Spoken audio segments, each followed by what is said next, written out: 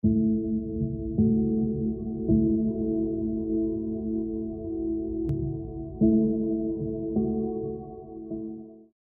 evening. In Hebrews 5:11 the writer says that he is busy explaining things to us that are difficult to explain unless we pay close attention to what is being said. And then he continues in the in chapter 6 of Hebrews to call us to lives of mature faith where we apply the core doctrines of the gospel to our daily walk with God.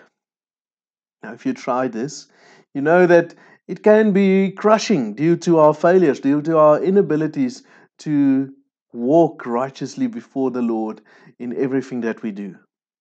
And therefore, we should notice that the, the writer of the Hebrews gives us this call to faithfulness, to mature faith, and then says that we should do it in following, realizing that we are following in the footsteps of our Lord Jesus Christ, that entered into the presence of God on our behalf made atonement for us through his sacrifice.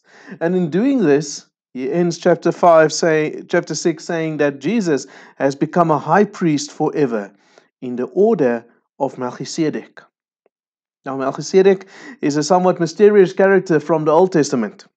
And in Hebrews 7, he is used as a witness to the fact that Jesus as high priest is far superior to all of the Levite priests that we found in the Old Testament.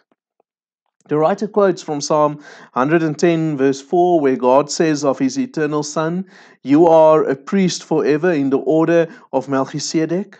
And then he uses the history of Genesis 14, where Melchizedek met Abraham after his victory over the kings of Sodom uh, and blessed Abraham, in which Abraham to which Abraham reacted by giving Melchizedek a sacrifice, a tenth of all of the treasure that he captured in this battle.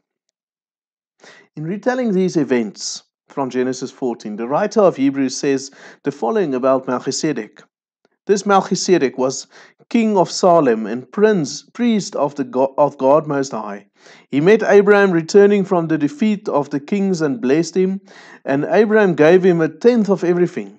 First, his name means King of righteousness. Then also King of Salem, which means King of peace. Without father or mother, without genealogy, without beginning of days or end of life, like the Son of God, he remains a priest forever. Now, the main aim of giving us all of this information about Melchizedek is to show us that Jesus, in being a high priest from the order of Melchizedek, is far superior to the Levite priests of the Old Testament. Jesus did not become priest simply because he was born out of the Levite tribe. He didn't become priest because the law said that he should be a priest. Now, Jesus is the eternal high priest that was appointed by the, divine declaration of God. God said, You are eternal priest in this order of Melchizedek. The writer of the Hebrews refers to this declaration of God when he says in verse 22 and further, Because of this oath, this declaration that he is the priest forever, Jesus has become the guarantee of a better covenant. So, all of the failures of the previous covenant, the old covenant, the sacrifices and the work of the, of the high priest in the Old Testament is replaced by Jesus, is fulfilled by Jesus as the better high priest, bringing us the new covenant. Verse 23 of chapter 7 says, Now there have been many of those priests since that since they've prevented them from continuing in office. So no one of the Old Testament priests could be eternal priest because all of them died. But because Jesus lives forever, he has a permanent priesthood. Therefore, he is able to save completely those who come to God through him, because he always lives to intercede for them. He can be the one that is permanently busy interceding for us because He is permanently living in the presence of God. Such a high priest meets our need, one who is holy, blameless, pure, set apart from sinners, exalted above the heavens. Unlike the other high priests, he does not need to offer sacrifices day after day, first for his own sins and then for the sins of the people. He sacrificed for their sins once and for all when he offered himself.